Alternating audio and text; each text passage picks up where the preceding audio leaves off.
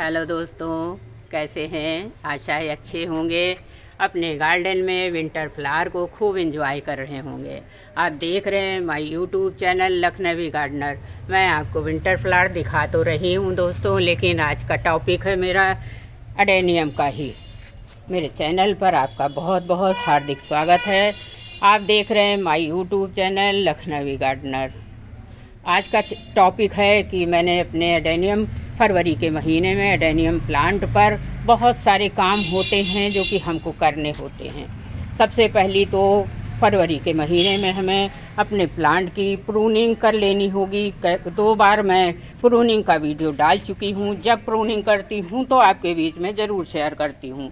तो लगभग मेरे प्लांटों में प्रूनिंग तो समाप्त हो गई है, लेकिन बहुत सारे प्लांट हैं, सत्तर पचहत्तर प्लांट हैं, इनकी प्रूनिंग और रिपोर्टिंग इतनी आसान नहीं। धीरे धीरे करती रहती हूँ जो जो करती हूँ, आपके बीच में शेयर करती रहती हूँ। तो अगर प्रूनिंग कर ली है और रिपोर्टिंग भी आपने कर ली है दोस्तों तो अब हमको पाँच छः दिन बीत गए हैं। मैंने तो रिपोर्टिंग पाँच छः दिन पहले की थी। उसके बाद हम ऐसा क्या अपने प्लांट को दें या डेनियम के प्लांट पर? जिससे इसमें फुटाव बहुत जल्दी आने लगे। तो उसके लिए मैं जो करके सीखती हूँ, जो सफलता पाती हूँ, वही आपके बीच में मैं शेयर करती हूँ, क्योंकि जो बिगनर्स हैं, उनको बहुत जानकारी नहीं होती है। कल भी मेरे वीडियो में एक वीवर्स का कमेंट आया, नाम तो मुझे नहीं याद है, कि मैम, एक हफ़्ता हो गया, क्या हम पानी अपने एडेनियम को दे सकते हैं या कोई फर्टिलाइज़र दे सकते हैं, जिससे जल्दी फुटाव आए। देखिए, जो प्लांट की ये मोटी मोटी शाखाएँ होती हैं, इनमें फुटाव आने में कम से कम 10-15 दिन लग जाते हैं। तो अडेनियम एक स्लो ग्रोइंग प्लांट है। इसकी ग्रोथ के लिए और फुटाव के लिए, फ्लावरिंग के लिए हमको धैर्य रखना होता है, पेशेंस रखना होता है मतलब। आपने प्रूनिंग कर दी, रिपोर्टिंग कर दी, अपना काम कर दिया, अब प्रकृति का काम है, वो अपना काम करती रहेगी। आप अगर मेरे चैनल पर पहली बार आए हैं तो सब्सक्राइब कर लीजिएगा और बेल आइकन को भी प्रेस कर दीजिएगा ताकि मेरे वीडियो की जो जानकारियाँ हैं, पूरी जानकारी आपको मिलती रहे। वीडियो को शुरू से अंत तक देखिएगा, इसकी बिल्कुल ना करिएगा, नहीं तो आपको आधी अधूरी जानकारी मिलेगी। और कई लोगों ने कहा, मैम आपके गार्डन में, डेनियम में बहुत अच्छी फ्लावरिंग होती है तो आप क्या यूज़ करती हैं? तो अब मैं वो आपके बीच में शेयर करने जा रही हूँ कि अगर रिपोर्टिंग और प्रूनिंग आपने कर ली है, हमारी मिट्टी एकदम भुरभुरी है, क्योंकि हमने बहुत दिनों से इनको प्रूनिंग के चार पाँच दिन पहले पानी नहीं दिया। रिपोर्टिंग को हफ्तों हो गए तो अब इनको पानी की आवश्यकता है। पानी की भी और किस किसी पावरफुल फर्टिलाइज़र की ज़रूरत है। तो आपके बीच में वो मैं जो इस्तेमाल कर रही हूँ, उसका लाइव दिखाना चाहती हूँ, क्योंकि आपको भी अच्छी जानकारी हो, आपके प्लांट में भी फुटाव जल्दी आए और फ्लावरिंग बहुत अच्छी अच्छी हो। अगर आपको मेरे गार्डन की फ्लावरिंग देखनी है तो तीन चार महीने पहले का वीडियो आप जाके सितंबर, नवंबर का वीडियो देख सकते हैं।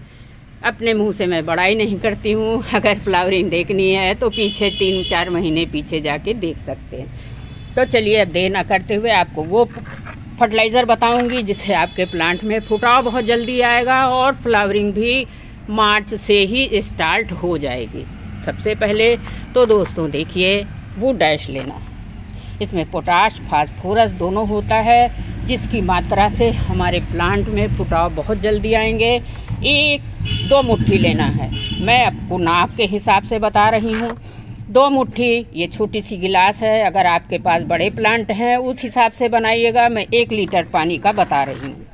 दो मुट्ठी आपको बोन मिल लेनी है। बोन मिल का फ़ायदा तो सारे गार्डनर्स को पता है, क्योंकि इसमें कैल्शियम भी होता है फास्फोरस भी होता है, इसलिए मैग्नीशियम भी होता है। इसलिए इसको हमें देना ज़रूरी है और रिपोर्टिंग और प्रूनिंग के बाद आपको सूखा फर्टिलाइज़र नहीं देना है। देखिए, मैंने तैयार कर लिया है, लेकिन अब आपके बीच में क्वांटिटी बताऊँगी जिससे आप बना सकें। दो चीज़ हो गई, वो डैश हो गई बोन मिल हो गई। इससे हमारी प्लांट की जड़ों को मजबूती मिलती है इम्यूनिटी पावर बढ़ती है। कैल्शियम से मजबूती जड़ें हो जाती हैं कोडेक्स मज़बूत हो जाता है। उसके बाद ये क्या करता है? ऊपर ब्रांचेस को, पत्तियों को फ्लावर को खूब अच्छे से प्रोटेक्शन प्रदान करता है और फ्लावरिंग में भी बढ़ोतरी खतरा करता है। इसलिए बोन मिल ज़रूर डालिएगा इस बनाने वाले फर्टिलाइज़र में। तीसरा का चीज़ लेना है आपको नीम की खली, क्योंकि अभी अभी हमारे मौसम में पूरी तरह से गर्मी नहीं आई किसी किसी समय सर्द होती है, सुबह और शाम सर्दी भी होती है तो इसलिए इसमें फुटाव जल्दी नहीं आ पा रहा है। थोड़ी गर्मी धूप से मिलती है और थोड़ी गर्मी हम नीम की खल से दे सकते हैं तो इसको ऐसे आप तोड़ लीजिएगा और पानी में डाल दीजिएगा। देखिए, आप अच्छे से फ्लावरिंग करें, अच्छे से ग्रोथ करें, उसके लिए हम जो यूज़ करते हैं वो है ये ऑर्गेनिक फर्टिलाइज़र पोटाश इसका भी यूज़ मैं करती हूँ। तीन महीने नहीं करती हूँ दोस्तों। नवंबर, दिसंबर, जनवरी। फरवरी से मैं फिर इसको स्टार्ट कर देती हूँ। तभी से मेरे प्लांटों में खूब अच्छी ग्रोथ भी होती है और फ्लावरिंग भी होती है। एक महीने बाद मैं अपने इन प्लांटों की फ्लावरिंग आपके बीच में लाइव शेयर करूँगी। तो चौथी चीज़ हो गई पोटाश। अब आपको लेना है पांचवी चीज़, बहुत ज़्यादा था, एक चम्मच भर के नीम की खली। ये इंसेक्टिफाइड भी होता है और कीटनाशक भी होता है। एक हिसाब से ये फंजीसाइड भी है। हमारे प्लांट की जड़ों में अगर कहीं से कुछ रू रह गया होगा फंगस, अंगस तो उसको ये नष्ट कर देता है। तो आपको नीम की खली भी लेनी है और सरसों की खली भी लेनी है। चार चीज़ें, पाँच चीज़ें ये हो गई दोस्तों। पोटाश, नीम की खली, सरसों की खली, बोन मिल, वो डैश। अब लास्ट में आपको लेना है फंजीसाइड पाउडर। देखिए, मैंने निकाल के रखा हुआ है। साफ़ का इस्तेमाल मैं बारहों महीना अडेनियम पर करती हूँ। महीने में एक बार पानी में घोल के इनका घोल, घुला हुआ पानी अडेनियम की जड़ों में ज़रूर देती हूँ। तभी मेरे प्लांट इतने अच्छे हैं और कोडेक्स की ब्यूटी। कई लोगों ने कमेंट किया कि मैम आपके प्लांट के कोडेक्स बहुत ज़्यादा ब्यूटीफुल हैं, इतने बड़े हैं, ये मात्र तीन साल, ढाई साल का प्लांट है और कोडेक्स की बहुत सुंदर ब्यूटी है। आप क्या डालती हैं? तो जो मैं इस्तेमाल करती हूँ उसका फ़ायदा देखते हुए आप लोगों के बीच में भी शेयर करती हूँ, ताकि आपके गार्डन में भी खूब अच्छी फ्लावरिंग हो। अब आपको एक चम्मच, एक लीटर पानी में एक चम्मच फंजीसाइड भी मिलाना है, जैसा कि मैं मिला चुकी हूँ। और इसका घोल तैयार करने के बाद आपको दोस्तों, कम से कम 48 घंटे के लिए किसी छाया वाली जगह में रख देना है। और सुबह शाम आके इसको खूब अच्छे से मिलाते रहना है। देखिए खूब अच्छी तरह से मिलाते रहिए, जिससे ये पाँचों इंग्रेडिएंट अच्छी तरह से इक्वल मात्रा में मिल जाए। अब चलिए मैं आपको दिखाती हूँ कि इसका इस्तेमाल कैसे करना है। अब पानी का कलर देखिए, चूँकि इसमें वो डैश भी पड़ा है और बोन मिल भी पड़ा है, इसलिए इसका रंग एकदम मटमैला हो गया है। अब आपको करना क्या है? अपने प्लांट के हिसाब से। देखिए, इसकी भी प्रूनिंग और रिपोर्टिंग हो चुकी है। नीचे से सूखी पत्तियों को हटा दीजिए। इस तरह से सूखी पत्तियाँ बिल्कुल हटा देना होगा आपको, नहीं तो फंगस लगने का डर होगा। इस तरह से आपको ध्यान रहे कि फोर्स से पानी नहीं देना है। नहीं तो जो कुछ मट्टी में हमने इसमें फर्टिलाइज़र, बोन मिल, जो कुछ मिलाया है, सब निकल जाएगा।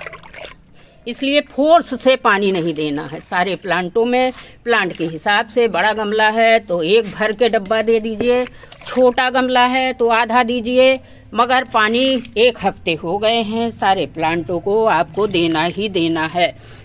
पानी के साथ साथ ये फर्टिलाइज़र भी है, जो बहुत जल्दी फुटाव हमारे प्लांटों में लाएगा।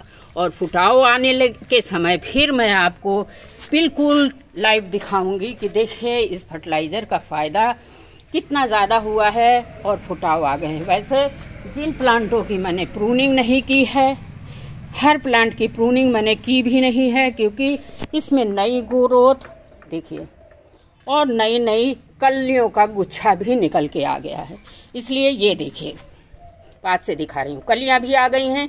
इसलिए आपको भी एक सुझाव है कि जब कलियाँ आपके प्लांट में आने लगें, नई ग्रोथ आने लगे, पत्तियाँ निकलने लगें, देखिए, पत्ती भी निकलने लगी है। इसलिए मैंने इनकी भी प्रूनिंग नहीं की है। अब इनकी प्रूनिंग मैं सितंबर के महीने में करूँगी या अक्टूबर में करूँगी। पौधे बहुत ज़्यादा हैं, पानी धीरे धीरे डालती रहूँगी, नहीं वीडियो लंबा हो जाएगा तो आप लोग भी उब जाएँगे। इस तरह से अपने सारे प्लांट को आप फर्टिलाइज़र वाला पानी ज़रूर दें। अगर जल्दी फुटाव पालना चाहते हैं, मार्च से ही अपने प्लांट में फ्लावरिंग पाना चाहते हैं तो इस तरह से अपने प्लांट की आप देख रेख करिए। अगर कोडेक्स पे पड़ भी गया है फंजीसाइड का पानी तो कोई नुकसान नहीं है, क्योंकि हमारे प्लांटों को प्रोटेक्शन देगा ये। ये रहा प्रूनिंग और रिपोर्टिंग के बाद हम कौन सा फर्टिलाइज़र दें, कितना पानी दें और किस तरह से रखें इनको तो आपको बताना चाहती हूँ जल्दी फुटाव आने के लिए इनको प्रॉपर धूप में रखना होगा। नीचे से आपको फर्टिलाइज़र दे दिया है जड़ों में, ऊपर से धूप की गर्मी पाएगा तो ही ये प्लांट बहुत अच्छे से फुटाव देगा। और फुटाव आएगा तो भी साथ में कलियाँ कलियाँ भी निकल के आएँगी, क्योंकि अगर आपने इतनी बढ़िया फर्टिलाइज़र दी हुई है सुपर फास्ट पावरफुल फर्टिलाइज़र आपने गोल बना के दिया है, अब मैं सूखा भी दे सकती थी फर्टिलाइज़र इसमें। लेकिन दोस्तों कहते हैं ना कि सूखा देर में फ़ायदा करता है लिक्विड फर्टिलाइज़र जल्दी फ़ायदा करता है। इसीलिए हमने इसको दे दिया है। अगर आपको समझ में आए तो आप भी बना लीजिए, इतने सामानों को घोल के और दे दीजिए। अगली वीडियो में फिर मिलती हूँ। इनमें फुटाव आएगा उसके साथ। तब तक के लिए हैप्पी गार्डनिंग थैंक यू बहुत बहुत धन्यवाद।